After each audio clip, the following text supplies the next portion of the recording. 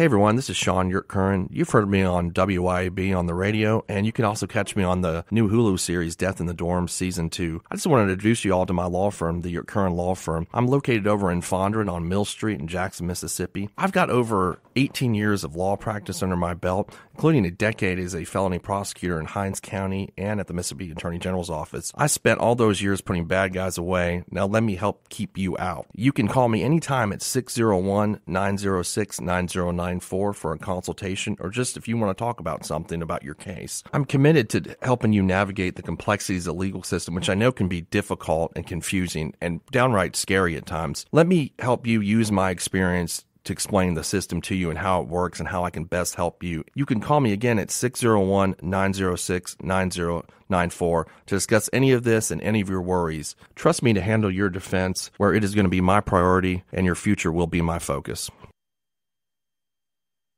All right, you tuned in to the Free Range Human Show Choice, your daily dose of reality radio. This is the Clay Edwards Show.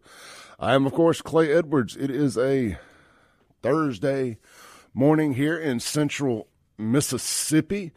And we're just going to jump straight in here. Uh, we're not going to take any phone calls today on the Mazda of Jackson phone line. We've got two guests in the studio, so I don't want to get a get it going too many directions. So we'll just uh, to honor our sponsors, we'll say this interview today is brought to you by Mazda of Jackson. If you guys have any questions, I would like to keep it to the text line, the Guns and Gear text line, seven six nine two four one. 1944 or of course you can hit me up on any of my social medias at save jxn but uh, the text line is the most proficient and efficient at 769 241 1944. Uh, I've got my regular cohort, Mr. Shaun Yurtkuran, here in the studio, and our guest this morning is the, um, I, I don't throw the word legendary around too long, but I'm going to do it for this man here, the legendary Jerry Mitchell. Jerry, thank you for getting coming out here this morning, brother. Sure, absolutely. Glad to be here, Clay. Uh, so what we're going to be discussing today is the I wouldn't say it's the end, but we're we're really close to the end of this Goon Squad stuff. Yeah, well, we'll see where what the end is. I mean, I think that's what we don't know at this point. But obviously, we had the sentencing. Uh, we we ended in terms of the sentencings of these six law enforcement officers. Five of them, Rankin County uh, sheriff's deputies, and one Richland police officer. Yeah, um, Shaun and I have discussed this. I would safely say, as far as radio media, probably more than anybody else. Right. Has we've done multiple, multiple shows on it. And it's a very interesting thing because I, uh, me, I'm a pro law enforcement guy, and I think most all sure. of us are, right? Oh, yeah. And I didn't want to believe all this was true. And I, I didn't talk about it. Well, you knew about it. I live in Brandon. I mean, you hear about it. You knew there was something going on, some accusations. Then you heard the accusations. And, and with so much that goes on in the world, so many false flags, so to say, when it comes sure. to police abuse, I, I, was like, man, that didn't happen. And then when it did, and it came out, and y'all's story came out, and then the follow up with the other, what was it, twenty seven? Um, yeah, that's what we we were exposed. You know, oh, oh, nearly twenty years of similar cases. It was at that moment that I had to say, okay, this really happened you know, there's no denying this. And yeah, they pleaded guilty in August of last year, yep. and and then of course our story came out. This has been going on for two decades, and and that's just what we know. No, and, and exactly, and uh, you know, and you kind of presume, as as kind of a cynical reporter over the years, you kind of presume it may go back farther than even that. That's just what we were able to document. Indeed. So they did the sentencing yesterday um, there were some people that were holding out hope that they would get more time, and but but I think on, they, they got more than this. Yeah, yeah, it, it's concurrent. So essentially, essentially the federal sentences are going to be the the sentences, and the state time is just concurrent with that time. So. Yep. Um, I want to ask a question because sure. I, I, was doing a live stream last night talking about some stuff, and, and this came up. And one, one one thing that it's a little myth busting here, if nothing else. Maybe you know the answer. One one thing that comes up is how did the deputies end up at that house? I, have heard multiple stories that. Well, it was a, I mean, quote unquote, in their in their eyes, problem house. You know, this, this there had been a actually been a homicide at that house, uh, not that long, you know, many years earlier. Uh, so there'd been there have been this was a house that, that was kind of known in terms of um, and, and um, in general they were um, really hitting the Robin Hood community. You know that was a real popular area for for these uh, for this shift. It was a shift actually. It was a late shift that became. They called themselves the Goon Squad. This is not something that uh, the media coined or something like that. They actually did themselves, and But even ironically, they did have a coin. yeah, I gotta say, but they did a law enforcement coin. I actually talked to the deputy, interviewed the deputy that um, that they basically hired to um, make the coins for him. He, he that's what he does. He does law enforcement coins, and so it had Rankin County Sheriff's Office on one side and Goon Squad on the other with a little mobster guys, you know, uh, you know, kind of cartoons or whatever. The Lieutenant Middleton's Goon Squad. I think Yep, that's what had it said. Middleton's name on it. Lieutenant Middleton's Goon Squad. Yeah. So, had there been any interaction with the two guys that night and the Goon Squad previous? Because I've heard that they were told to stay away from there. That, they- that I'm, and I'm not trying That to. Paint, I'm not trying to. That I don't know. as- I, I as mean, the, guys the two, the just- two, the, the two black men. Is Yes, that what you're talking about? Yes. Um, Perkins, uh, Parker and Jenkins. I, I do not know. I do not know whether they've been told that or not. Uh, we do know uh, a neighbor supposedly called Brett McAlpin, and and and that's how this all began. That's the part that has fascinated and, and me. again, I don't know. We just don't know for a fact. Beyond that, what what what what really was there more involved? You know, which is a good question. that's the part that's fascinated me is this neighbor with everything that was a white woman, Yes, and the two black men were living there or staying there or whatever the situation was. yeah. So the the neighbor allegedly calls and says, you know, There are these two black guys over here. yes, Something along those lines. paint me shocked that the feds didn't find this neighbor and pull them into this from a conspiracy. Shaun, would you say? I mean, what, what would what could they attach this neighbor to or Yeah, I'm? I'm not with? sure, you know, with the with the a federal crime, but you know, I'm more familiar with state. But I think there could be maybe some sort of conspiracy to commit aggravated assault, conspiracy to. Well, if that was the of- intent. Yeah, Yeah. right. Yeah, if it was some, it depends on what the intent of the whole thing was. Right. But you know, if it escalated, I think you maybe you could charge them as an accessory before the fact. Do you Right. think that would probably be the best way to do it? Um, and there were, you That know, be on obviously the state side, Yeah, on the state side. That's what. Yeah, that you know, and that's kind of what I think we've discussed with about Brian Bailey in the past, where I feel like you know there's a possible maybe an easier state charge there if he knew about any of these other incidents. Maybe he was, you know, and I don't know necessarily a conspiracy with him, but maybe he's accessory for the fact. Gotcha. Because I'm just surprised that they haven't. That we Accessory haven't before or accessory after. I think, well, it depends on what the situation was. Obviously, what it would be. I think um, If you knew about it, if him he in knew it before they were going to do, do this, it, yeah. if he was, yeah, I think that then it would could- be before, Mhm, obviously. That's when I, yeah. It's interesting. I just, uh, I, I'm just surprised that we haven't found out who this neighbor was in the midst of all this. You know, you know, like I was telling you before the show, and you know this, Clay. I'm obviously I went to high school in that community, and I know exactly the street where this happened. And I mean, it's not they're they're not like you know kind of subdivision where it's right, Right. but there are there are some houses on the street that are closer together. So and everybody out there knows each other. I mean, Yeah, that's the way that is- community is. And I mean, I figured you know somebody everybody knows who that person is. I don't. I have not heard who it is. I've heard stories of who it is, but I don't have that confirmed Yeah, that. yeah, it's uh, it, what it say in, in in Mississippi anyway, and especially in Rankin County, there's not six degrees of separation. I think it's Right. yeah. one one and a half maybe at the most. that's almost off of I think off of Cato Road out there, and uh, that a lot of those people went to the Puckett School District, you know. So, and a few of my friends from high school have kind of called me and told me like, "Hey, that's the house that we used to hang out with." You know, we hung out a house down the street from there, so I kind of Definitely. know exactly where it is. Yeah. All right. So, what we you mentioned Bailey. Why don't we start there? Um, Jay, what do you what what do, what do you feel? What do you think Jay, Bailey should do? Do you, I mean? I guess it's such an open ended question here. Well, it's his call. I mean, uh, he's made pretty clear he's gonna he's not he's riding this out. He's not going to resign. Uh, obviously, there've been the NAACP and and I guess there've been some others too that have called for him to resign, but he's made clear he's not going to do that. So, so what's the question? What the feds are going to do? Is that the is that what you're trying to get into? I, I guess so. I mean, Shaun has suggested that that Bailey, of course, doesn't resign because it's a bargaining chip. With well, yeah, I don't, I don't know. I mean, yeah. it's his that's his call on what he decides to do. Uh, it'll be interesting to see what the feds do. I mean, like I, it's pretty clear this is not over on mm-hmm. the federal side of the investigation. So, um, and as our reporting kind of documented, there, there was more than six people. Like these six people are the ones that are going off to prison, but the reporting that uh, Brian Howey and, and, and, Nate Roosevelt did for us, uh, which ran in uh, Mississippi Today, ran in the New York Times, um, documented a number of other people who were alle- at least allegedly involved in other pretty horrific, you know, violence.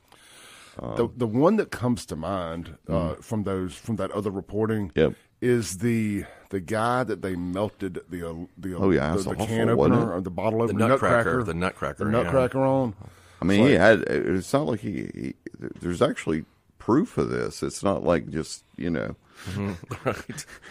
There's not just you know that somebody saying that, which you know that's kind of maybe becomes your first instinct in, in hearing something like that. But yeah, and uh, or Rick Loveday. I mean, that was just here he was a Hinds County deputy. Yeah, and and the way they treated him, and um, you know, stole his guns, stole his ammunition. I mean, I mean, that's the thing that's just really unreal about this to me. It's just like it, it, this mentality that began to kind of take place where they thought, hey, it's okay if we take their stuff. It's okay if we, you know, beat them up or whatever, you know. And it was a real common theme for them for whatever reason to take food, like the mm-hmm. food from the kitchen or whatever, and whether it's milk or you know, potatoes or whatever it was, and, and they would, or cake. In Rick's case, they took, he had a chocolate cake on the counter. Wasn't even his cake. They took it and smeared it in his face. And what's going on with that? Was that the guy that had the icing in his safe? or whatever because he was hiding his icing. No, that was another one. That was another I remember that. Yeah, yeah, he, he, had icing in his in his uh, safe. Could you imagine right. their disappointment? They open up the safe and there's icing. Exactly. Yeah. I mean, it's like you know, because drugs, ice, stuff like that, and there's literally icing in there. Yeah, they're, they're breaking it in the safe and they find out it's nothing but icing. That's kind of disappointing, isn't it? He was hiding it from his wife. yeah, he? That's, yeah, that's great. All right, let's do that. Let's take a break. When we come back, I want to start at the beginning of this and how this whole story unfolded and became the story that it is. This is the Clay Edwards Show, joined here live in the studio this morning with Jerry Mitchell and Shaun Yurtkuran on 103.9 FM WYAB.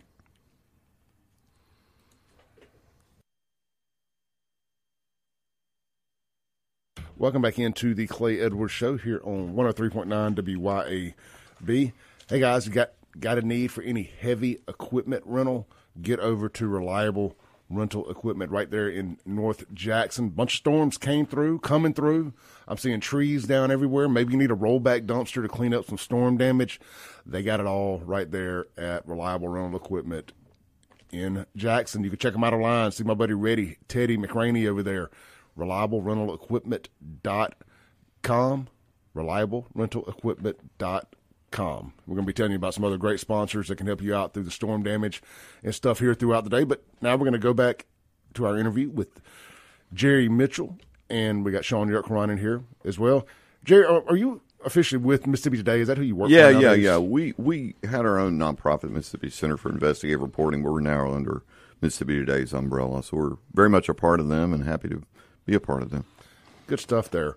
So let's go back to the beginning of this thing, man. So this, sure. how long ago do we think all this started? About twenty years. I mean, it's kind At of verifiable least. there. Yeah, well, we have documentation back that far. I mean, McAlpin has been involved in this kind of stuff for since since almost he started at Rankin County Sheriff's Department. That we, you know, we were able to document in some way. Yeah. You know, we had talked about this during the break, and during those other that big drop of of documented cases that mm-hmm. I guess didn't get investigated, kind of brushed away. One of the things I that really make my ears stick up was the fact that they said that none of these people got caught with more than four hundred and fifty dollars worth of drugs or four hundred fifty dollars cash. Four hundred dollars worth of heroin. That was the That was biggest. it. that was the biggest. That was the biggest thing that, that in any of those cases, which was real striking to me too. Yeah. Well, it just, it just says, and, and you made a great point. It's like, are we busting drug dealers or drug users? And I just, I, I don't, I just look at kind of a numbers perspective of what it costs to house a criminal. Is Yeah, this, is this compare good that, business for the state? Compare that. Compare that to rehab. I mean, how much cheaper is it to do rehab than it is to hold someone in a jail and feed them and take care of all the medical needs and et cetera, et cetera. Um, it's it's it's pretty expensive. It's not it's not cheap. and you know, and then you you ruin their life. Yeah, it's it's a it's a. I mean, I think that's something that ought to be looked at. You know, and we're talking about looking at that ourselves in in terms of, you know, what what what, you know, what drug amounts are there in other cases? You know, that kind of thing. Well, I just look at it. You send somebody to, to jail for let's say five years Right. for for some dope. You could have sent them to rehab for six months or a year. And I'm not making excuses for the people that made No. bad mistakes. I don't want to come across like that. Yeah, and it's not that they don't need help. I mean, the arrest, it, it, it's not don't arrest them.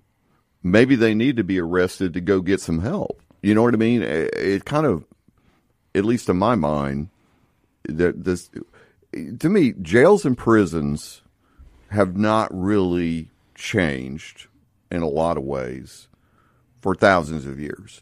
We we just kind of have the same system that we inherited, you know, that's been going on for thousands of years, jails and prisons. And it's not that maybe the, those things aren't necessary, but maybe we need to rethink. You know, it, this is what always reminds me of that, and the criminal justice system reminds me of you you you you've got a toolbox, and all you really have is a hammer. You- and, you, and maybe you really need a screwdriver, but all you got's a hammer. You know, I haven't heard it put that way. I like that. That's a good way to put it. That's a good way to put it. Um, it was just I, I looked at that, and the first thing I thought about was, are they are they stealing money and drugs? If that's the if if that if that's the most that they were able to to pin somebody with, yeah, yeah, yeah, that seems like a harsh punishment for basically an eight ball worth of dope. Yeah, yeah, yeah. No, I'm, I'm, you know, I think this is something we need to absolutely. I'm glad you guys are talking about it because it's something we as society need to talk about and think about. What were we investing? Because this is what we're doing. We're investing taxpayer money into this, into what we're doing. And if all you're doing is busting drug users, oh, your numbers look great. Number, look how many arrests we're making. And I think typically for people in the public, they're thinking these are you're busting drug dealers. Mm-hmm. But if what you're really doing is busting drug users, what are you accomplishing? What's what's and if all you're doing is put them in jail and then maybe even prison, what are you what are you accomplishing? you know, Clay and I have talked about this extensively, actually. Yeah. And, uh, you know, I think the war on drugs started in during the Nixon administration. Yes. And so we, we're 50 years past that point now. It, it, I don't even, I've said this many times, I don't even call it, it's not even a war because we lost it a long time ago. It's Oh, a yeah. war. I mean, the, the, the drugs won. Yeah, That's where we are. Medical now. marijuana got voted in in Mississippi, so You know. it's uh, Didn't think I'd be alive to see the day. yeah. I, I- nor did I. I, it, it's created just a war on our own people. I think is what what the war on drugs accomplished. It didn't really accomplish anything but that. And now, and we're still perpetuating the same problem. I think kind of goes what you're saying here. We're not rethinking how to attack this instead of Yeah. just let's put them in jail. Like that's the only you know well, there's. I'll give this as an example. I'm not saying this is the answer, but I'm just saying this is at least thinking about these things. Is there are now jails being established in places like Kentucky um, and Ohio where essentially when they bring the people in, it's like a rehab. It's not like a regular jail. It's like designed to really get people help. You know, if they've got a drug problem, okay, here's rehab right here. you know, they've got it set up where um, meant for people to to get help. Well, just me growing up in South Jackson back in the '90s, and I battled um, my own drug problems throughout my career of owning nightclubs, and the majority of my friends that went to jail, that have been to jail, went to jail for these very things, for drug use, not drug dealing. Mm-hmm. And I've I've watched that destroy lives. We just got a text on the Guns and Gear text line from Kristen, and she goes, "Well, who would pay for it? Who would pay for the rehab? Well, the, the state, if they're paying for housing the prisoners now. So, what if you reduced your jail population by half? I'm just Yeah. throwing out a hypothetical Sure. number. But let's say you reduced your jail population by half. Mm-hmm. Well, you you've got plenty of money to pay for rehab for you know how many people. It's cheaper. Rehab is cheaper than jail. I guarantee you. I guarantee you. Or, like prison. Prison is over fifty bucks a day per per inmate. Well, and cheaper in the long run too, because Oh yeah, you know don't repeat. You know, have the repeat behavior. exactly. Prison's not rehabilitating anyone. In, No. you know we're t- if we're in the, you know I know we're in the business of punishment. We also say we're in the business of rehabilitation, but we're not. We don't do that, and that would actually Not on a serious level. Not yeah, not on a serious level at all. I think, and they um I think that would actually long terms these people may not repeat offend, so that's going to save us money on that end. You know. Exactly. no, I, and they're tax-paying citizens and therefore yeah, productive citizens, etc. What if you can keep just keep a felony off the record? You know, Oh, yeah, first, for, look- first time, exactly. and and you try to And keep people in society. And that's the other part of this. That's that uh, I think again we need to re, kind of rethink some of this stuff. Let's say drug. Let's say drug court, for example. The only way you can, and you know this, the only way you can get into drug court is if you're a first-time offender. Yeah, that's what I, recall from that from a while ago. Yeah, yeah. You don't- like you're a prosecutor. The only way you can kind of funnel someone to a, a, a, a you know, to that program, the drug court, mm-hmm. Is if they're a first time offender. If they're not a first time offender, And or a- they mess up, too bad. And there's all these conditions. I wasn't the drug court prosecutor, but I remember it being very difficult to get into drug court in the first Yeah. place, and and the actual program is very difficult to complete. Right. It's it's not an easy just Yeah, and, and if you mess up, which if you're a drug user is common, Yeah. you know, Right. th- then then then you you get kicked out and you can't you can't go back. And and I know people are going to be listening to this. We have an extremely conservative audience, myself included. Yeah. And, and, and you think, oh, y'all are just living in a in a liberal la la land where Well, it's uh, not just- liberal or conservative. I, I, don't, I don't think. so either. That, that's my point. And they How do we want to spend our money? you know? Exactly. And I just I can look and say this ain't working. Mm-hmm. The prison system as as constituted for nonviolent criminals, drug users, it ain't working. It's sending people back into the real, back into the world as a more professional got- drug user. I interviewed a guy the other day. Oh yeah, they get more drugs. They can have more drugs in prison than they can have on the streets sometimes. I interviewed a guy the other day who had gotten into drug court and actually sobered up as part of hoping to not go to jail. Right. Went to jail and came out an addict. Oh yeah, I've heard that too. And it took him a couple more years to get his life together after getting out of jail from the addiction he got in, In jail. jail. Now he could have just not done the drugs in jail, understood. But that that's kind of the point I'm making here is like there's drugs in jail. But I mean, heck, I can't really blame him. I mean, if I'm in jail, I'm probably going to be getting high. I mean, I'm, Yeah. just, I mean, I'm sitting there. That's probably Yeah, what, I, I, you know. well, there's a lot more incentive. I mean, Yeah. to to get high, it's like, man, this is a miserable situation. I just want to escape it in some way. Yeah. Mm-hmm. All right, so I guess going back to the the goon squad stuff, Sure. there's a lot of I, I- I just look at like the, this ripple effect of, of cases and people who are going to come out of the woodwork now and Well, look at frankly the case. should. In, look at the case. The Pearl police officer the other day. Mm-hmm. Did you guys? Have you guys talked about Yeah. that? uh, making him lick the pee. Yeah. yeah. Yeah, I mean, it's it's a, it's a mentality I think that's out there that's unfortunate, you know. And um, he was young. He was young. He's He's like 27, I think. It's Yeah. like a kid. Yeah. It's like he didn't he didn't come in there with that mentality. That was a that was something he was taught. Now he came from Jackson and then went to work over there. Mm-hmm. Um, I know some people that know the guy, and just this is the only reason I, I know some of the stuff I Oh, know yeah. about him. But yeah, you, you it, in Rankin County, there's this f around and find out attitude. In Jackson, there's not enough of that. And look, I'm a guy. I say this all the time on here. I, I believe in being able to live, move within a little bit of the gray area.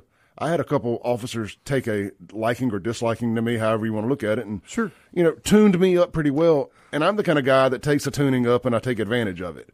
And I go on about my life. Now, what the Goon Squad did is completely beyond the the, Right, beyond the pale, pale. of of, Right. of tuning somebody up and living in the gray area. They they were over there with complete disregard for how you a civilized society works. Correct. And it just it just took it to a whole nother level. Shaun, do you have anything? Um, no, I mean, I think I'm kind of with you, Clay. I think you and I have discussed that. I think that being the nature of being a law enforcement officer, sometimes things get pretty rough. You know, oh the, yeah, the nature of that job. I think we understand that. And um, you know, I primarily prosecuted violent crimes, and you know, when you're, you're chasing a child murderer or like a guy that's you know killed a few people, I mean, the, the situations are not they're not pleasant, and it's not Right, easy yeah, to yeah. run that. But I think there's a difference between, and I think that's what Clay's trying to say too. Like we're both agree that like there's a difference between like you're chasing down a murder and maybe it gets a little bit more excessive force than normal. Than what these guys were doing Yeah. for sport. They were, I think they were, they were, in, you know, they were enjoying what they were doing. we said uh, texted them and said, "You want to? Are you ready for a mission?" yeah. I mean, like, And they and they were, you know, no warrant, no. I mean everything. I mean it, it, it's the uh, Well, it seemed to me that they were they were also you you brought up Robin Hood. I know that community pretty well. And, I mean, they were picking on poor, Poor drug people. users, and that were you know people and, that lar- and largely white. We might add. I Mm-hmm. mean, because I think sometimes people are thinking, well, this is, you know, from a racial perspective. That's actually No- the point I made. I made it a point to drive home once we got into that second half of this. Yeah, the was- once our story came out, Mm-hmm. we made clear that look, this is well, most of these people are white. yeah and I think that that shifted the court of public opinion too. To, Mm-hmm. to, to people who were like me, didn't want to believe this. See a lot of these kind of racial incidents get blown out of proportion or false Right. flagged. And then it's like, hey, oh crap, it's happening to us too. Right. You know, they were equal opportunity destroyers here. Right. Exactly. You know, so I, I think that really peeled the, opened the public's eyes. And what's hard about a lot of that too is that you know when you're and this I'm speaking from the DA side, Right. You, know, you get complaints from defendants all the time. Oh, And, of and- course. And ninety nine percent of the time it's bogus, like the stuff that Right, right, say, and that's you know, what makes and that's this- so difficult to, to discern. It's a parse and figure out, you Mm-hmm. know. But if these guys, let's talk about the other aspect of this. These guys have admitted they planted evidence, Mm-hmm. have admitted, you know, all these things. It's like, well, wait a minute. What about all those cases these guys were involved in? And the DA's office hasn't really addressed how they're going to actually handle this. It sounds like pending cases for the most part mm-hmm. only. And think we but heard how it- many other how many other cases are have there been where there's been planted evidence or there's been they they forced a confession or they didn't use a warrant or you start name listing off all the things here that they did. Let let let's hold that right there. Sure. I'm glad you got there. That's somewhere I wanted to go. We'll be right back here live on the Clay Edwards Show with Jerry Mitchell and Shaun Yurtkuran. I got all y'all's texts coming in on the Guns and Gear text line. We'll read some of your questions here coming up, maybe in hour two. We'll be right back.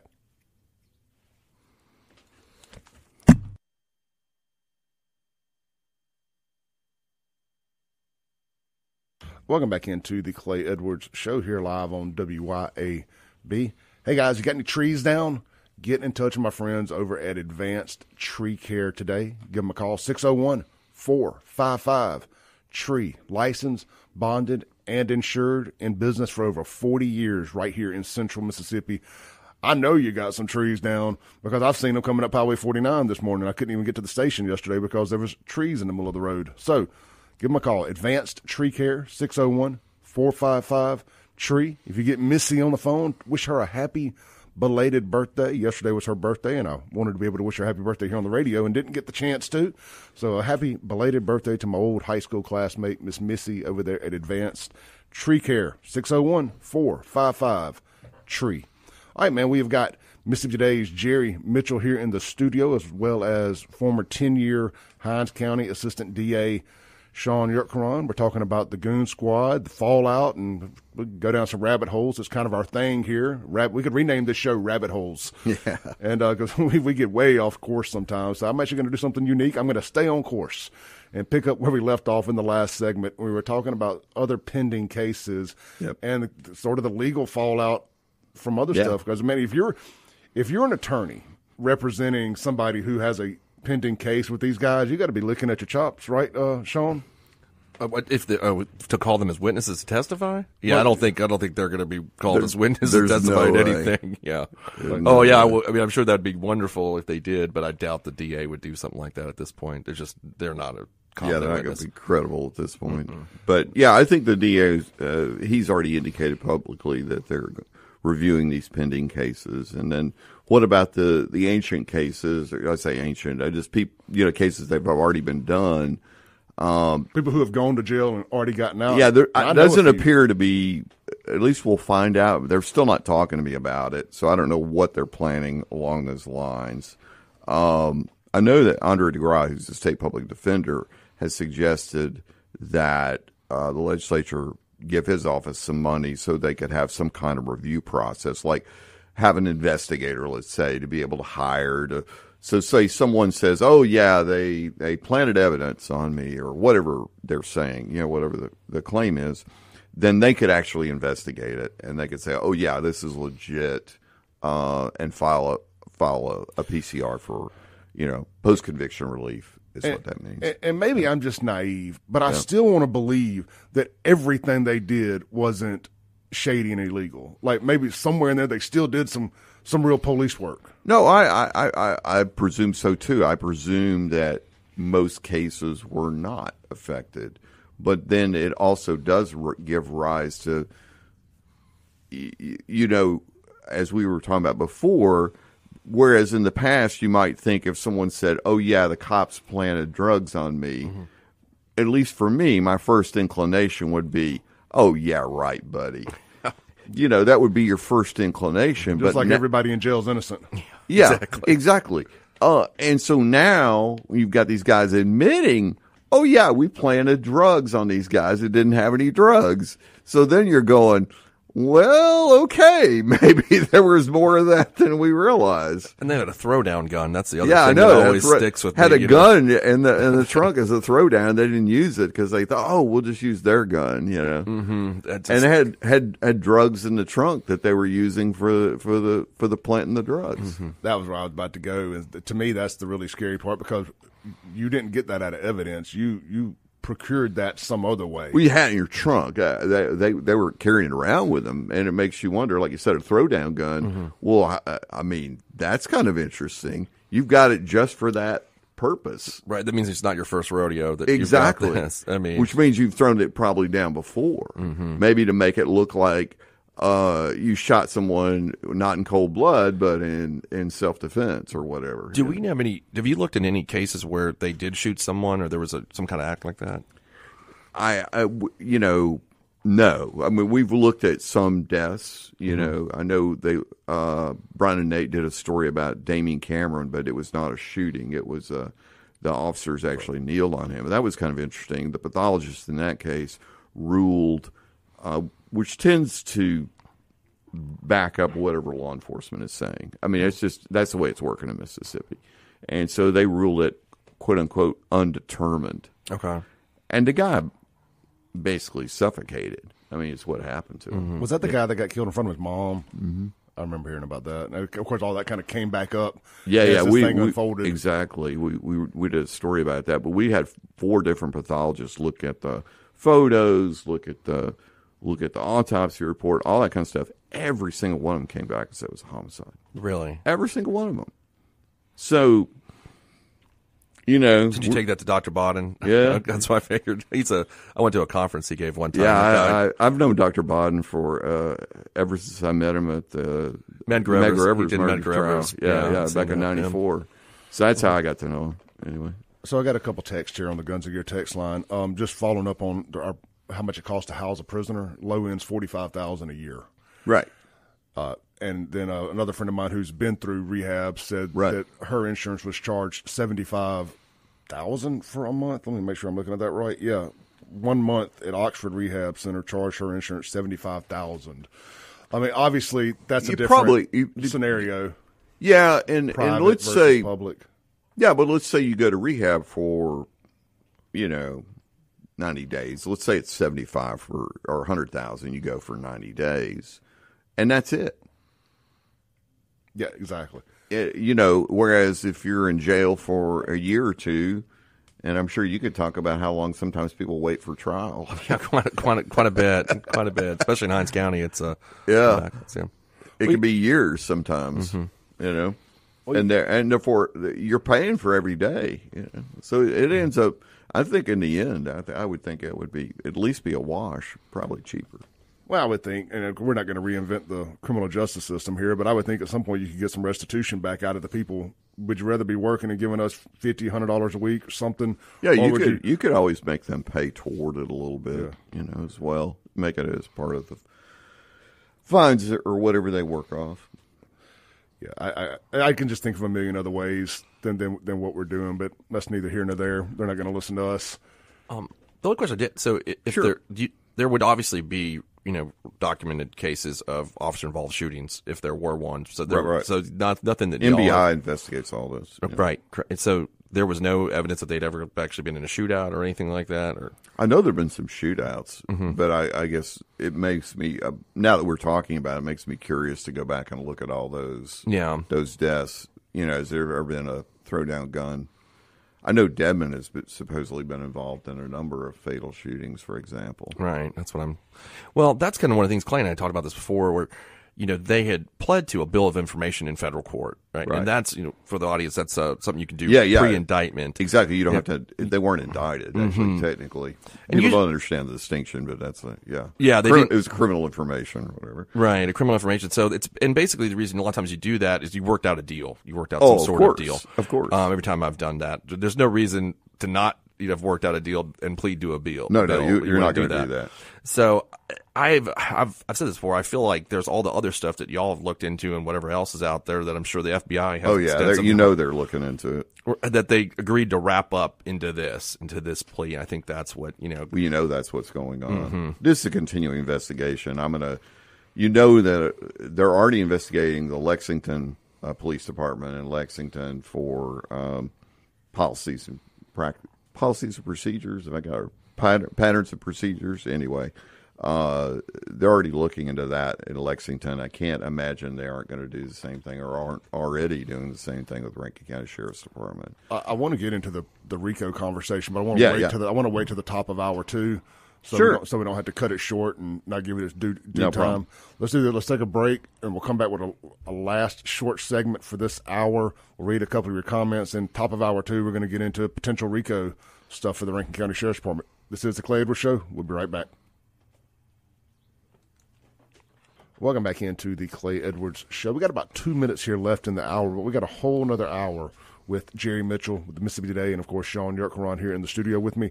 Um, Jerry, with this being an ever evolving case uh, that it could be it's just branches after branches after Right. branches, um, there's still possibly a lot of people out there who have been affected by this that haven't come out yet. Um, Right. Is there a way for them to reach out and tell their stories? Yeah, absolutely. We're interested in talking to them. Uh, my email, anyone uh, who has information or wants to point us somewhere, you're welcome to reach out to me. Uh, my email is the letter J, as in Jerry, and then Mitchell, M I T C H E L L, at, and then Mississippi Today, all spelled out, dot org. So um, feel free to reach out, and Clay, you're welcome anytime to tell people, uh, point, it, point them my way.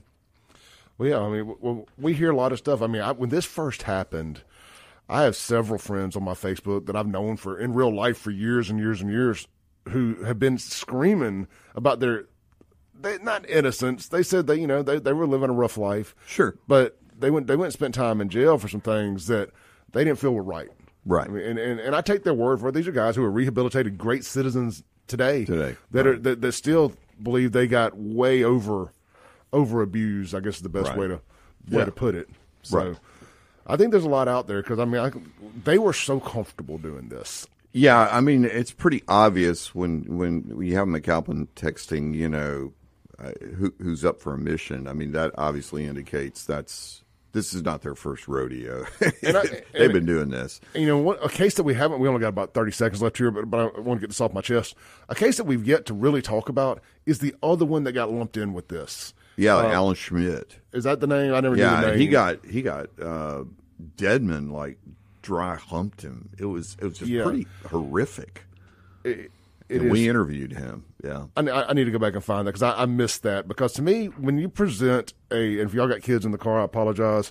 When you present a sexual um, aspect, I guess is the best way to put this, to any of this stuff, I mean, I don't care what the people did, uh, it's a line too far. And Well, they used you sex lose toy. your credibility. Yeah, you, you, they used a sex toy on the two black men, and and and this guy, you know, On the side of the road, right? on the side of the road, basically, you know, pulled pulled it out and and and slapped him in the face, and and then and then you know, just awful. Let's take a break. We'll be right back.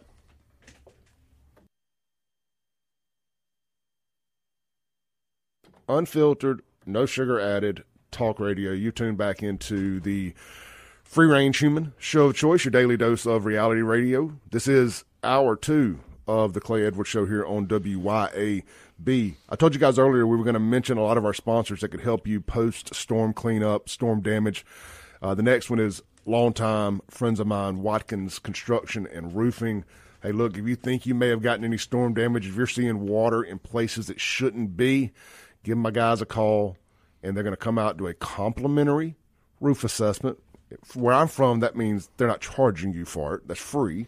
Uh, complimentary roof assessment. They're going to let you know, hey, man, maybe you just need a little section fixed, or maybe you need an entire roof. They're going to work with you the entire step of the way. They're going to work with your insurance company for you. They're professionals at that. That's uh, something else our our legislature's trying to take uh, roofers' abilities way to do is to is to work with your insurance company on your behalf. But that's another argument for another day. Check them out, WatkinsConstructionInc.com or No More Roof Leak.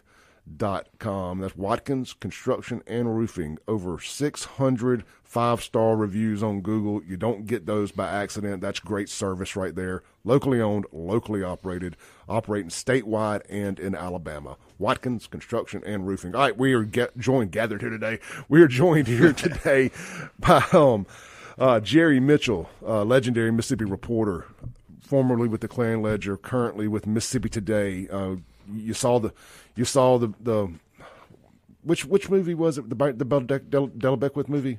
Oh, Ghost of Mississippi. Ghost of Mississippi. I almost said Mississippi Burning. Ghost of Mississippi. Yep. You you you played yourself in that, didn't you? No, I didn't play myself. Oh, well, Thank know- God. I was thinking you had a scene in that movie. no, no, no, uh, no, no. Benny Bennett played himself. Benny played Benny played himself. himself. Ed, Ed, Ed Bryson played himself. There- Uh, There's a Southern Poverty Law Center guy played himself. I think. no, no, No? Morris Dees was played by Wayne Rogers. Okay. Uh, yeah, and I actually got to talk to him on the set a little bit. Yeah. My, my Mississippi movie history uh, is not as good as I thought it was. No, it's okay. It's okay. It was that one I actually know something about. So And Charlie Crisco did not play himself, but yeah, when he was Sherry alive, you had to Crisco. meet him. I loved, I loved Charlie. You mean D- DeLaughter didn't play himself? No, it was Baldwin. It was Baldwin. Oh man! All right. So look, point Baldwin, being- who now unfortunately is Has got some problems of his got own. some problems of his own. and yes, he So does. may, may, may need a lawyer himself. Uh, that's something that will not go away. yeah. And, I, and and I'm not a big Baldwin fan, but I don't know that he's guilty on this. I mean, like it, it- politically, we disagree, but I'm just looking at his stuff. I'm like, man, look, I, I don't like him, but I don't think he did anything wrong. Yeah, I know. It's a. I It's a they- real. It's a real. Yeah, I, I don't know. Uh, what what's his what what uh, I mean? Are are you saying he knew this? You know, I don't know. It's a great question, I think and I don't know all the evidence. they just in sent us the armorer, you know, the Yeah, ones yeah. that control Yeah. the guns. I mean like, that that makes sense. Mm-hmm. Armor messed up, obviously.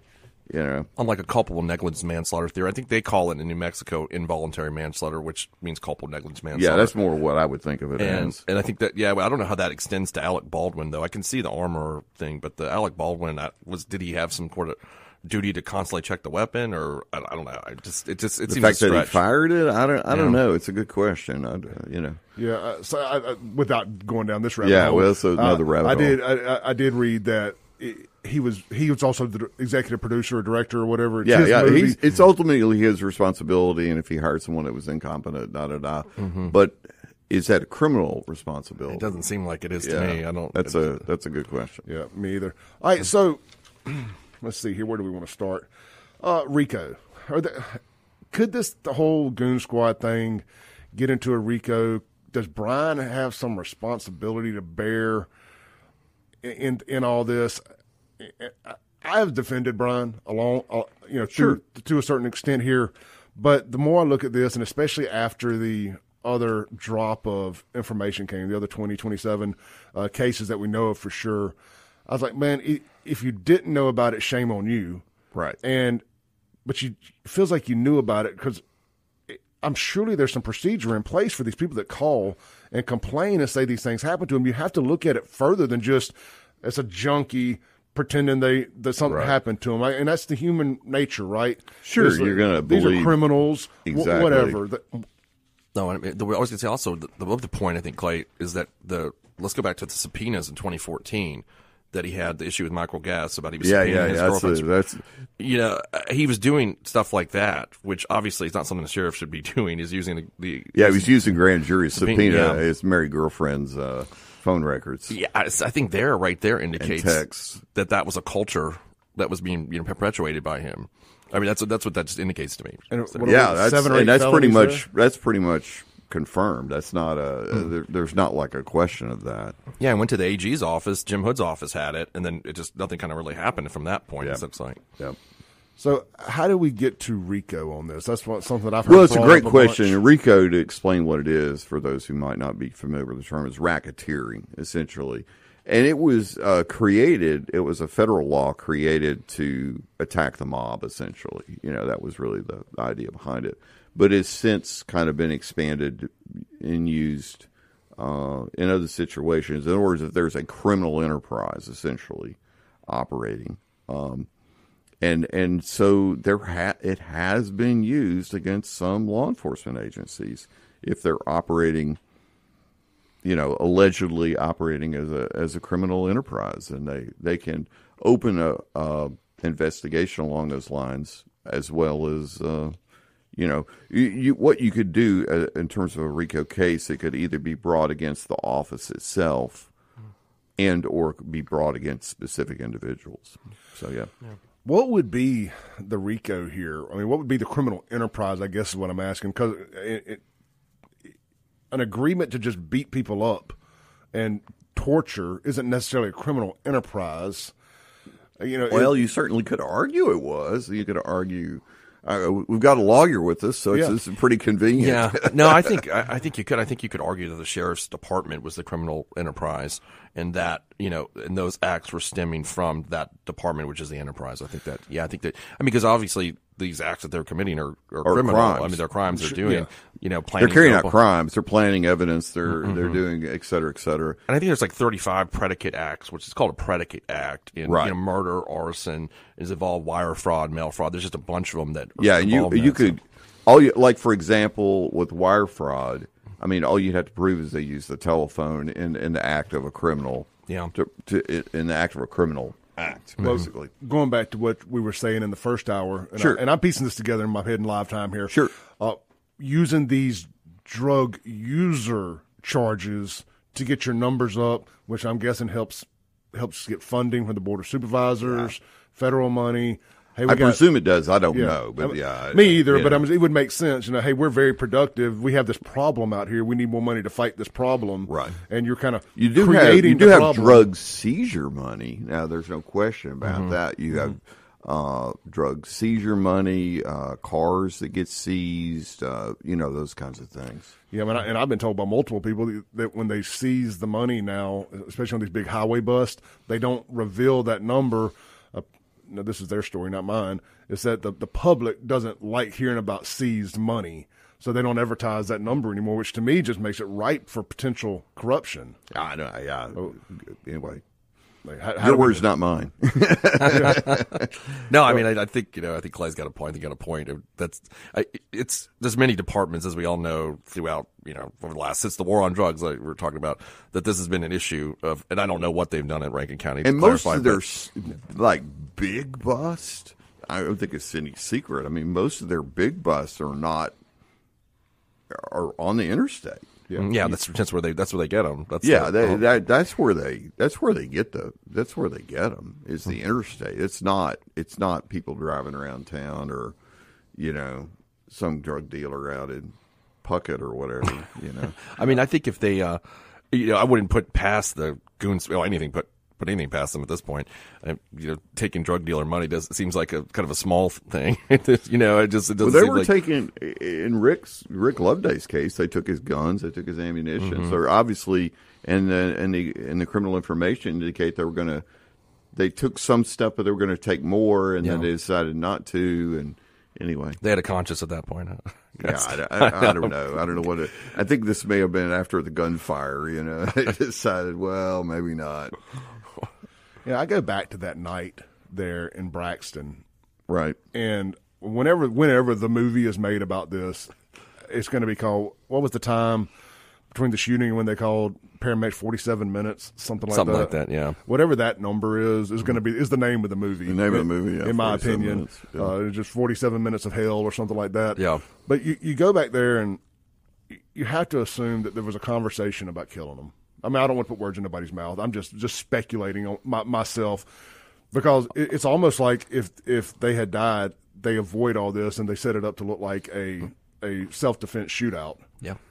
You know, judge Yep. again. It's just No, speculation. on no. my. I, I mean, that's you know, that's your spec. You're welcome to your speculation on that. I, I don't think it's a wild speculation at all. Certainly, on the criminal side of things, if you were thinking as a criminal, you might, you certainly would. That would be something that would cross your mind. Well, I mean, at that point, you know, you're like, And you're all in. yeah, You you're, know, that's, yeah, that's, that's it. true. I you're mean, now a criminal. Yeah, Yeah. yeah, exactly. Well, you know, that's what you and I, Clay, have discussed this many times. I'm sure everybody that's paid attention to this story has. I mean, if that gun doesn't go off, It nobody ever knows about this. Well, that's what's wild about this, isn't it? Like this case wouldn't be known, but not only that, all the other cases that that we found Yeah. wouldn't be known. I mean, this this all wouldn't have been public like this. Mm-hmm. No, Jerry, was was there cameras in that house? I mean, I've heard multiple stories that Yeah. they took them out and threw them away. Then It it took the hard believe- drive, I think, is what they did. Took the hard drive out and threw it in. Was there uh, now out in Braxton? There could like be that. internet issues, so there's always been this theory. It's like, well, it should be in the clouds, or the hard drive is irrelevant. Or was it was they taken out before I don't the situation? After? I guess it just is there Uh, video? well, apparently after, apparently after, and it, and they had they had been. I know McAlpin had been in that house before. Yeah. You know, when, you know when they when they had the homicide before, so they may have been familiar enough with the house to know what to do. You know, Uh, if you guys have any questions for Jerry Mitchell or Shaun, um, I don't know that I'm an expert on any of this stuff, but uh, you can ask me anything as well. Uh, 769 241 1944 is the Guns and Gear text line. We're going to take a break when we come back. We're going to get into who polices the police, who polices the sheriffs, and what do we do to change this process somewhat in Mississippi so they can have some accountability or recalls, elections, or something to that extent. We'll be right back on the Clay Edwards Show with Jerry Mitchell and Shaun Yurtkuran.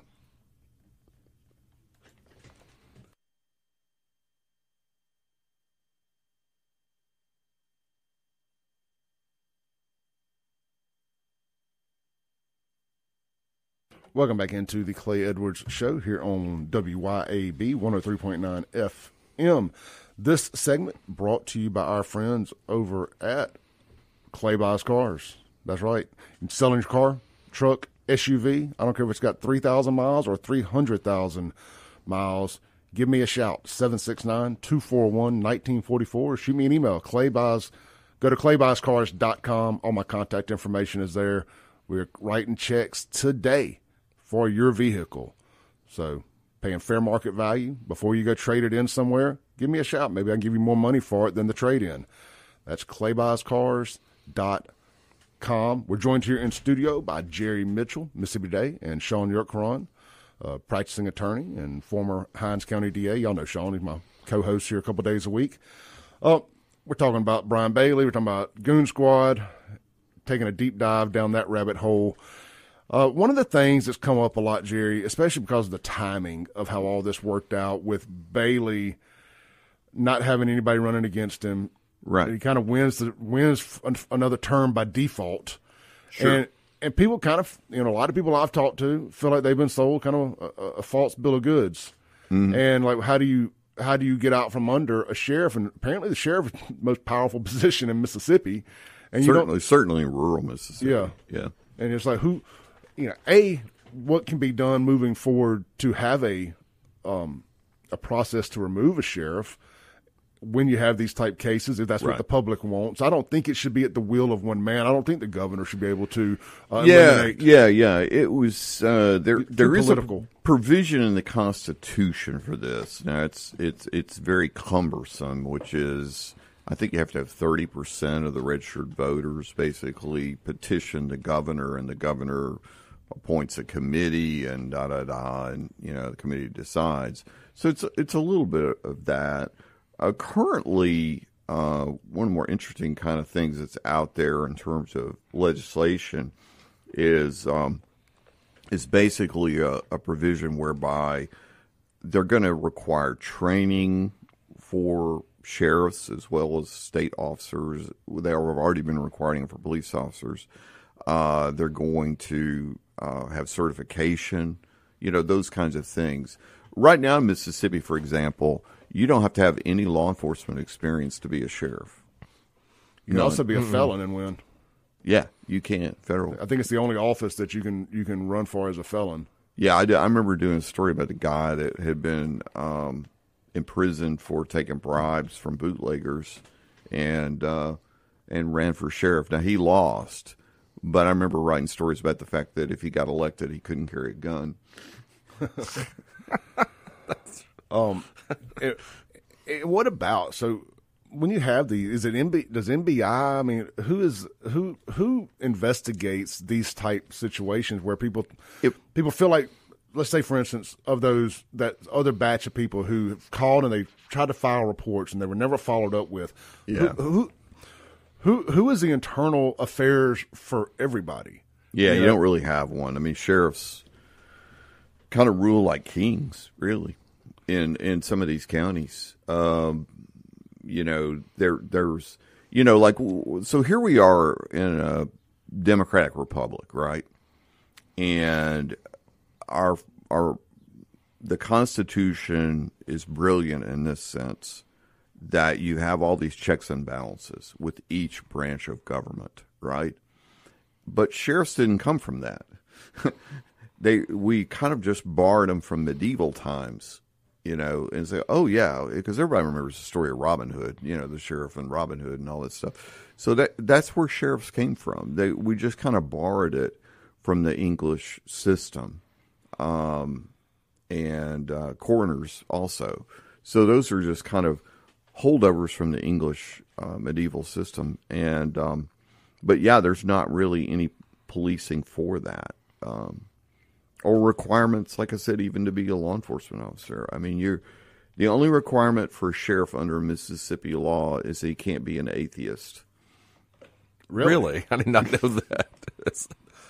That's- that seems to be an I, I'm unconstitutional just, I'm just- problem. Yeah, well, I'm just telling you what the law says. I am did just not know telling that. you what telling you what the law says. You can't be an atheist. Now you you don't have to be a law enforcement officer, but you can't be an atheist.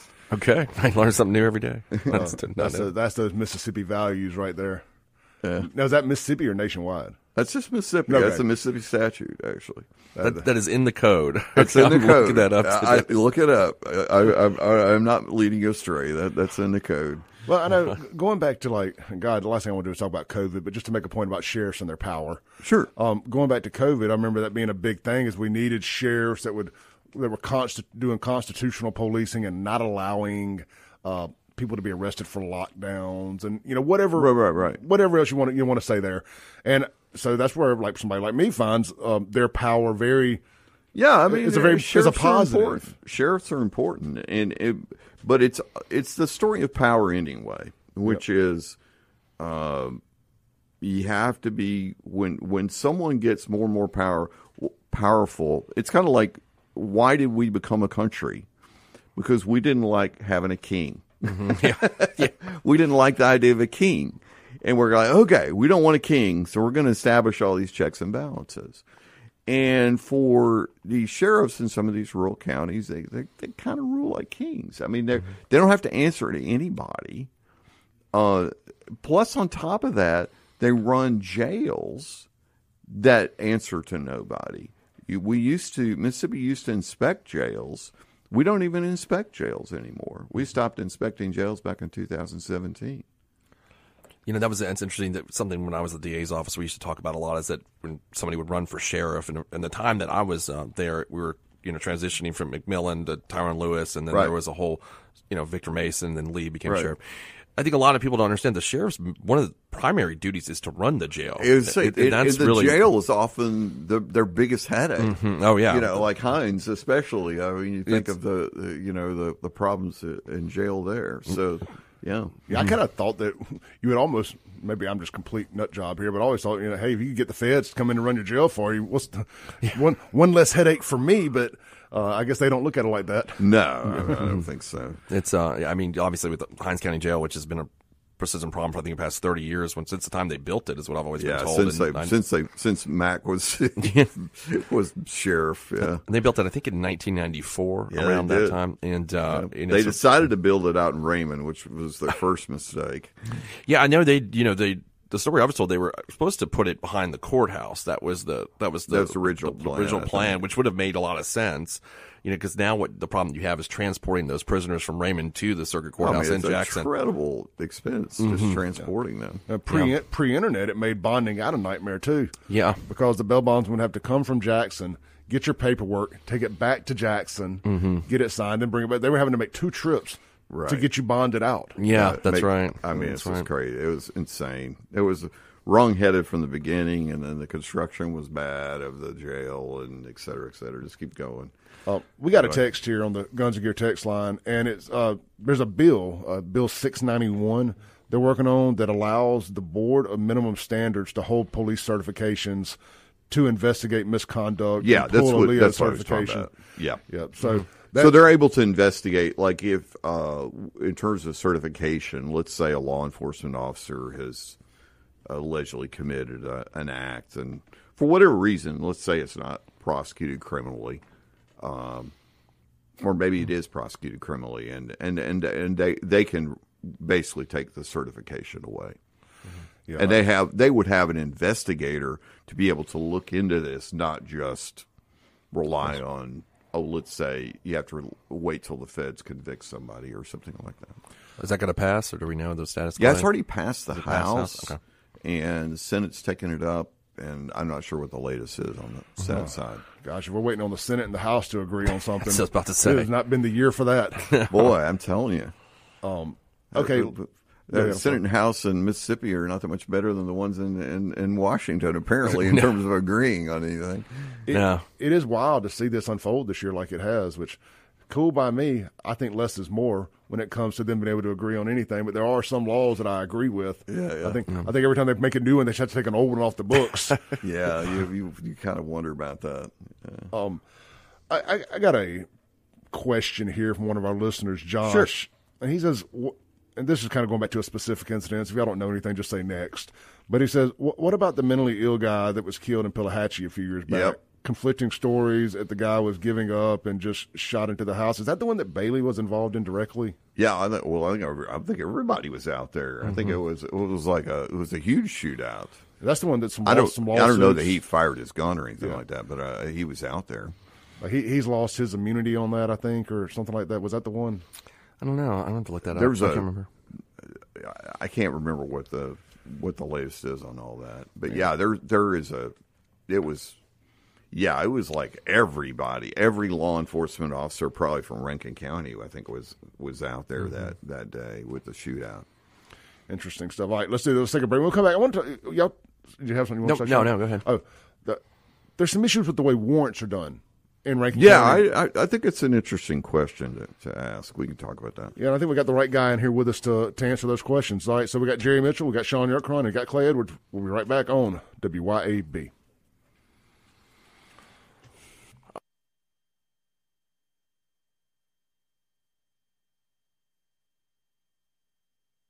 Welcome back into the Clay Edwards Show. Hey guys, you may be asking yourself, what's for lunch today? Well, I'm glad you asked.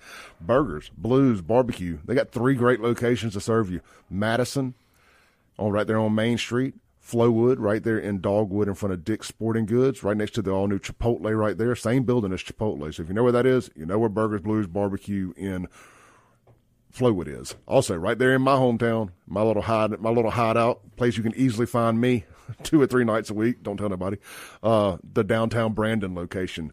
Their plate lunch specials today are hamburger steak. They have, they offer hamburger steak every day. When you have an award winning hamburger and you got burgers in your name, you got hamburger steak already ready already. And my favorite kind of steak, country fried is on the blue plate today at all three locations. And of course, you can try one of their award winning burgers, the cheese sticks, which is not fair to call them sticks, they're logs. Try those. They're hand battered and fried. Can't go wrong with them. That's Burgers, Blues, Barbecue. On you on a diet? Uh, doing keto? They got you, man. Go get the hamburger steak with some green vegetables. Boom, you are in it to win it. Don't forget they got multiple food trucks available for all your special event needs, and they can handle any catering job from five to five thousand. Check them out online, burgersblues.com. If you're out hungry for breakfast this morning, the Madison and Flowood locations serve fresh, cooked from scratch breakfast six days a week. Well, no, five days a week, and you won't go wrong. Try the chicken and chicken and waffles. That's uh, every time I say it, I'm like, I got to get over there. I'm going to skip the show one day and go get some chicken and waffles because there's so few places actually serve that here in Central Mississippi. That does sound good. It, It does. does. It really does. So, uh, burgersblues.com. We got Jerry Mitchell, Mississippi Today in the studio. We got Shaun Yurtkuran. Um, Jerry, Shaun and I had a conversation about two weeks ago. It actually got rehashed on Twitter by some other folks yesterday, and I went back and listened to it. I was like, man, I'm really proud of this segment that we did. And I rarely pat ourselves on the back, but we were talking about, Shaun brought this up, that, man, there's so many good cops out there at Rankin Oh, County absolutely. And really. I mean, I've had a few of them texting me since we've been on the air this morning, and I want to make sure we're not throwing the baby out with the bathwater. Yeah, here. we don't we don't want to do that. because these are some great guys, and I, I feel bad for them. I feel like there's a black cloud over that thing. I've had a couple of them tell me privately that you know you, they used to go in a place they had on the uniform, and it was it was looked at with, with such utmost Right. res- respect, and now they feel like people are looking at them with fear. Yeah, And, and it's just it, it's almost Shaun. it's made the- unfortunate. Mhm. And Shaun made the point that it's, it's got to make it a, a community more dangerous than it can, than it does safe when people fear, not respect, Right. your your main law enforcement agency. Yeah, what I'd say, you know, let's say you're you're you're a black man and you're driving in Rankin County, you get pulled over, and you're just, you know, you're not you're not a criminal, you're not doing anything, but you, you got to be a little nervous if you get pulled Oh, over by yeah. the Rankin County sheriffs. I mean, just naturally. Yeah. And I think you know, if you're anybody that lives in that Robin Hood community, you're you're nervous, and even though it's a good cop that's pulling you over, ain't gonna, he's not, you know, you might be speeding or whatever you're doing, and um, but I think it just puts that, you know, obviously fear and and and it, it Yeah. causes like you know a tension that could happen and it puts the it puts the officer in jeopardy too i think Oh, exactly. Well, you. do- I mean, people may react in certain ways. Mm-hmm. You know. Uh, I mean, God forbid they pull out a gun or you know what I mean. Yeah. All those kind of things That's that what I mean. are potential.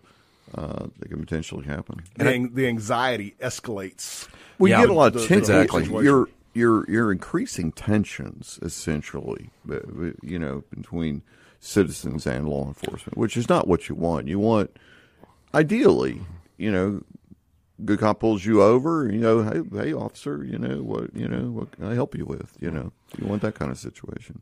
and that remains as long as sheriff bailey doesn't resign now i think if he does and you have a new sheriff it comes in and there's a you know whole overhaul of the department i'm not you know, then that yeah, it's going to be interesting to see what happens because, man, it's not. I, I can't imagine being a deputy right now in uh, Rankin County. It would be a, a. God bless them for doing it, but Yeah. man, it's a tough situation right now. it really is and, and I try to, I kind of pride myself in keeping my ear to the ground. And again, I live there a stone's throw from the sheriff's department. I, I'm- I'm out in the community all the time. I like to talk to people, whether it's the gym, the bar, or anywhere in between. And this is a conversation because of what I do gets brought up a whole lot. And the and the overarching part of that is people think he needs to s- step down, whether down. he's guilty or not. He needs to step down because of kind of lack of institutional control, if nothing else. exactly that's a good point Yeah, I- I've heard at some point back that it was suggested to him to kind of step down, you know, on an interim, at least on an interim basis, mm-hmm. till this kind of all resolved itself, and that that he he was not a fan of that that idea. So. Mm-hmm.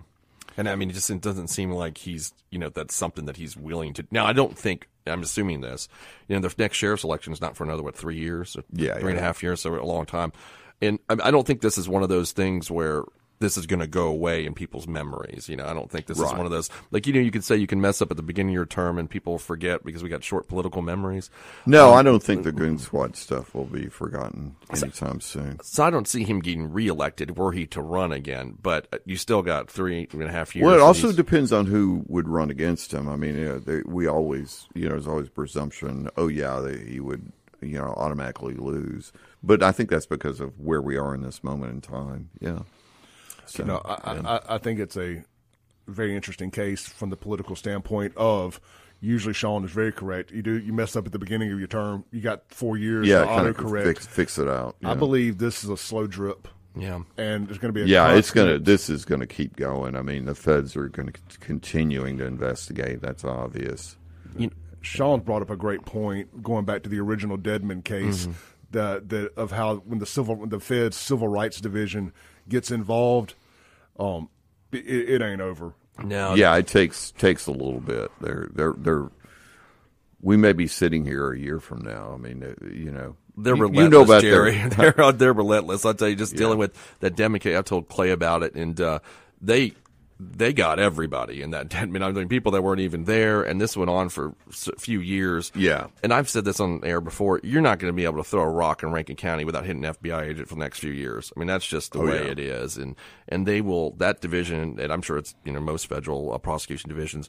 They're just they're going to look at everybody involved in it, and they're gonna they're gonna turn over every rock and and if there, you- we you know- presume there may be. Uh, w- let's take Bailey out of the equation. Mm-hmm. There could potentially be other deputies, for example. Sure. Uh, as we kind of pointed out in, in the story, I mean, there were at least allegations of other, you know, potential deputies being involved in this kind of behavior. Yeah. Um, somebody just texted in on the Guns and Gear text line and asked, and I, I think I know the answer, but I'll ask y'all anyway. If if he is to resign, who appoints a new sheriff? Is it board of supervisors? I would think so. Yeah. That's what they do in Hinds County. Yeah, I think that's right. I think That's right. how they ended up with Marshand Crisler after the last one passed away, and then you had a s- I don't special election maybe. Yeah, I think that you would. Uh, yeah, especially since it's more than two years. You know, there's there's it's. I think it's, it's less than two years, and you don't have to have a special election, but it's more than you do. I think that's correct.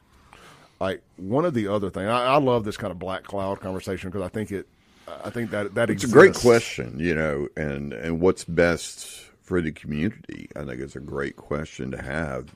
I'm kind of surprised that the supervisors haven't had more discussion about this. Now, mm-hmm. maybe they're having all this discussion privately, you Yeah. know, but I'm just kind of surprised there hasn't been more public discussion about this, like you guys are having, like what's best for the community kind of discussion. Well, I'll say this: coming from a guy that's born and raised in Jackson and familiar with Jackson politics and the way it's gone, and it's very it's very open mudslinging in Jackson.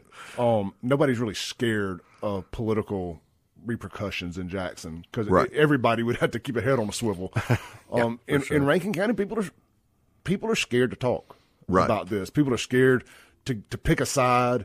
They don't want to be ostracized if they're on the wrong side. Mm-hmm. Um, this is what I do. I have to talk about it. it. These are some of the most uncomfortable conversations I've ever had to have. Right. It's this whole goon squad thing. As a, as a guy that is out and about and friends with a lot of cops and very part Oh. member of the of the community, it it ain't easy. But sometimes you got to pick the right side, and, Yeah. and you got to you got to go with your gut. And that's what I've chosen to do. Well, I, I had someone interesting. I had a conversation with someone the, the other day, and they just said outright, um, I think that law enforcement should have absolute immunity no matter what they do. And I didn't, I responded. I said, well, I think if they commit a criminal act, they should be prosecuted as criminals. And that's kind of, you know, my take on it. And I don't think, I think, I would think most people would agree with that. Yeah. I, I I think that's somebody that has been drinking the Kool Aid way too much. If they think anybody should be able to do anything with absolute immunity, Mm-hmm. I- I- that's great until it happens to you. Exactly, until it's your son or daughter, right? Yep. You know, I also wonder too. Uh, speaking of the tension and anxiety, of the community with with people and the sheriff's department, or just law. I mean, this extends not to just the sheriff's department because people don't know sometimes who I'm getting pulled over. They, you know, whether it's a Pearl police officer, a Brandon police officer, they all lump them everybody in together. I mean, what does that do for businesses that want to move to Rankin County or people that are want to? Oh, you got to think that you know this Got- is the, New York. the Chamber of Commerce is not going to be happy, be happy about some of this, right? You know, I mean, what does it do to your property value if you to do a home there? And I think, you know, this is an article the New York Times, as, as you very well know, you guys are running all the time. And hmm. it's it's put this kind of, like, again, black cloud on Rankin County, and it's got to have hurt every aspect of it, which I think, which sucks. But put it that way, it sucks. It's horrible for everybody there because you got, you know, I went to high school there, you got tons of great people there and that are not yeah. involved in this, and they're all getting affected by it. Well, the other thing is that you know you on, on, on that end, there's going to be some lawsuits some oh, very oh, there already are, Yeah. and there will be more. there's going to be mm-hmm. some large, large lawsuits, and that's all going to be paid for by the taxpayers. What, Absolutely. What services do we do we have to take from to pay for these? Do property taxes get raised when you're talking about 30, 40, 50 million dollars potentially? I don't know. I mean, I've heard crazy numbers. By the time it's Well, there's a and done. four hundred million dollar lawsuit. Not that they're going to Yeah. get it. Yeah. Does insurance cover all this? That's another issue. I think, I too. think the insurance only covers a what a couple of million, something like that. Mhm, something. I'm not exactly sure, but yeah, I mean, it's It's not much. Like it's not. It's not. It's not a four hundred million dollar policy. I'll, I'll put it that way. Yeah, it's like what public services do you start having to skimp from? Is it law enforcement? Is it fire? Is it both? Is it public works? You know, Yeah. Well, you could where- where does this potentially, go? you could easily potentially see a class action lawsuit in this. Mm-hmm. You know, given the Goon Squad's activities over a period of time. You know, I mean, do they? Uh, do the traffic signals not work like Jackson Clay? You know, after a while, Rankin County they can have the same problem. Well, I as mean, we look, do here. I'm so scarred about that side of it, having just moved out of Jackson two or three years ago and still covering Jackson every day. Is I've seen what happens when you don't, when you can't afford to pay attention to these things like they need to be, Mm-hmm. and then crime starts sl- cr- slipping in. yeah. You know, one of the big things, like one of the big conflicts people have is, okay, I know what they did was wrong, but. Rankin County sure is a safe place to live, Right. Because of that fear that's been instilled into people who don't want to come around here. And you know, one of the big things of this show is FAFO, F around, find out. And and I get that. But I, I just the human being in me says that you don't do it like this. The, the, Madison's safe. Yeah, Right. They they're not doing it like that. I can think of a hundred other places that are safe and aren't doing it like that. They're not using dildos to enforce the law. Yeah, that's that's pretty awful. Yeah. All right, let's take a break. Come back, land the plane for the day with Jerry Mitchell and Shaun Yurtkuran on the Clay Edwards Show. Welcome back into the Clay Edwards Show. We're live here on WYAB. Guys, as always, just want to thank all our great sponsors here. I didn't get to run a whole lot of them off today. I didn't want to waste a lot of time, or I don't want to call it wasting time, but I didn't want to take a lot of time from getting to hear Jerry talk. Uh, again, we got Jerry Mitchell, Mississippi Today. We got Shaun Yurtkuran here. Jerry, we appreciate the time. And Yeah, sure. Yep. Thanks. um, the work you guys did on this, and I, I mean, Yeah, I, I, Brian and Nate. Uh, I mean, they've done the vast majority of it. They've just done a fantastic job with, uh, and they're continuing to work in this area. So again, if anyone has any information, please, please email me at uh, letter J and then Mitchell M I T C H E L L at MississippiToday.org. yeah, yeah, you know, I, I got a feeling this is not going to be something that goes away anytime. No, soon. it's is- not, and, and and it raises issues. I think beyond just Rankin County. You know what? Uh, you know, as we were talking about earlier. You know, are are we arresting drug users or you know drug dealers or drug users or you know how are we approaching? It, it really does raise some interesting questions. I think. Yeah, I, I, I agree 100%. I could do a whole other hour just going back to the criminal justice side of this, and I, I'm not a fan with the way we do stuff. And do I have a better solution? I do not. And do I think we should just let drug users roam free? I do not. But what we're doing is clearly not working. Time to raise the white flag and surrender and figure something else out. Yeah. Um, Jerry, again, thank you. Well, thanks, guys. Shaun, Thanks. thank you. Guys, get out to Martin's downtown today if you're in Hinds County and want to get a great lunch. It's been there for 70 years. Uh, that's about right, right? 70 Yeah, years? about 70 years. You know, I don't even have to tell you where it is. Either you know where Martin's is or you don't. Yep. Um, they did just open up their new Martin's Market. It's the gas station as they get ready to open up the new bar and restaurant there at the town of Livingston. They took over the gas station. It's right there on the corner of 463 and 22. I ran into the boss man himself when I stopped by there the other day. Oh, you been up there already? Yep. Oh, yep. okay. I had to go by to the men's clinic uh, Friday and stop by there on the way and Hmm. saw the boss man. And uh, they tried to sell me a, a sausage and biscuit and or a chicken biscuit, some kind of biscuit. They're serving fresh breakfast biscuits up there. Gotcha. And, and, uh, they've expanded it out. It's really nice. It's a full service gas station. That's cool. So if you don't want to have to get out your car, they got a nice fellow there that's pumping your gas. And look, I'm just going to be honest. I don't think it cost any more there than it did anywhere else. And usually full service costs extra. All right, Jerry Mitchell, thank you. Shaun Yurtkuran, thank you. I will see you guys tomorrow. Stay safe. Be blessed. Peace out.